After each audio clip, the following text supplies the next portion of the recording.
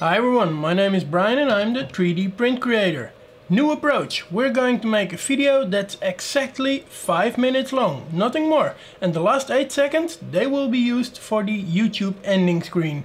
So this is a very short video in which I'm going to show you how I make a solder fume sucker with this fan that I have and that I'm going to use. So at first I like to take my measurements. Measurements are always very handy. So I take my calipers and the parts that I'm going to use for this print and then I measure all the sizes and I write them down just on a notepad. So yeah, I know what sizes they are. So I just take measurements and I see in these measurements that the sizes are 60 by 60 millimeters the holes are 4.5 millimeters. The center to center from hole to hole is 50 millimeters, not in the diagonal of course.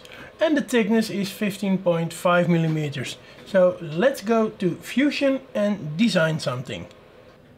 And then in Fusion I take the straightforward design method. This means that I'm designing while I'm thinking of how the design should be.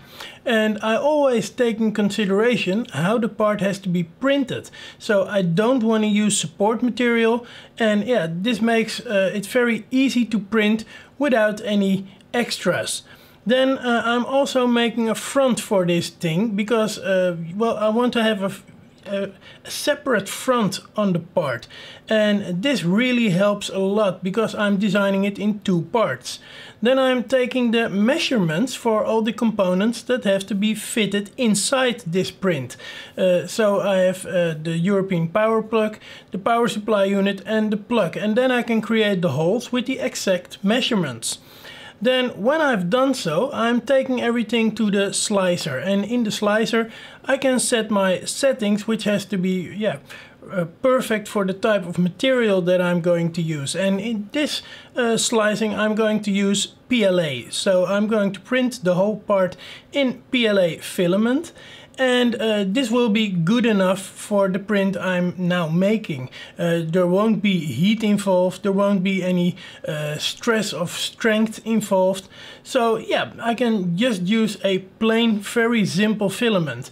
And uh, also I can print uh, both the, the, the part and the front from the part uh, in one print bed.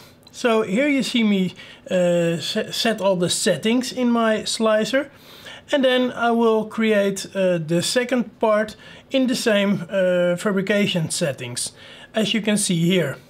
Now it's not on the correct plane so I first lay it down on the bed and then I have the two parts that can be printed uh, both on the same time and I'm going to print them on the JG Aurora printer. So first I do a small check and then I do the print and this check turns out great. So yeah, let's print.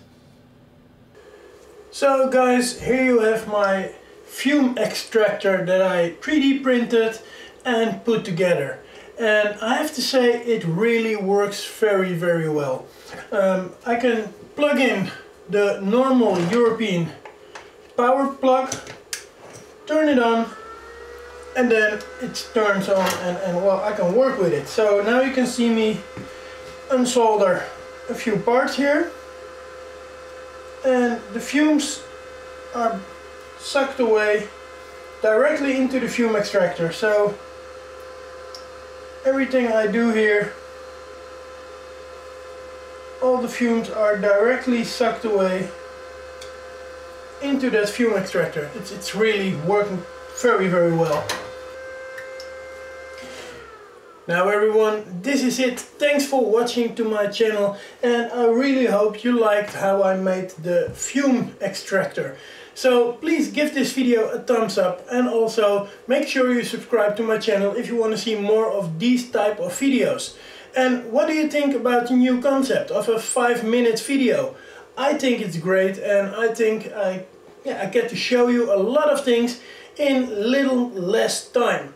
So yeah, this is it. Hope to see you guys in the next video. Thanks for watching. Bye bye.